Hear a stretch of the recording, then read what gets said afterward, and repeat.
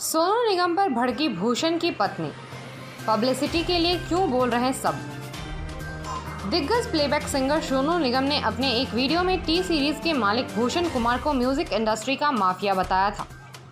साथ ही उनके साथ पंगा ना लेने की चेतावनी दी थी। इस पर भूषण कुमार की पत्नी दिव्या खोसला कुमार का रिएक्शन सामने आया है। दिव्या अपने इंस्टा स्टोरी में सोनू निगम के बारे में कई बातें लिखी हैं और उन्हें थैंकलेस इंसान कहा है।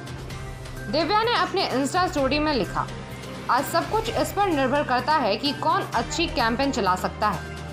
मैं भी देख रही हूँ कि किस तरह लोग अपने स्ट्रॉन्ग कैंपेन के ज़रिए झूठ और फरेब बेच रहे हैं। सोनू निगम जैसे लोग जानते हैं कि लोगों के दिमाग से खेलना है। भगवान ही हमारी कायनात को बचाए।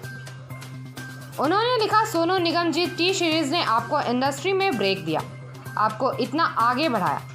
अगर आपको इतनी ही खुंदश थी भूषण से तो पहले क्यों नहीं बोले? आज पब्लिसिटी के लिए क्यों कर रहे हैं?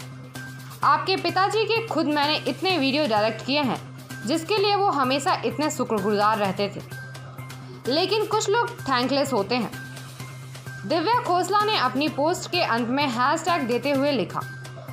दिव्या खोसला ने अपनी पोस्ट के अंत में हैशटैग देते हुए लिखा अच्छा सिला दिया तूने मेरे प्यार का। मालूम हो कि हाल ही में सोनू निगम ने एक वीडियो पोस्ट किया था, जिसमें उन्होंने कहा, माफिया है वो तो माफिया की चाल ही चलेगा।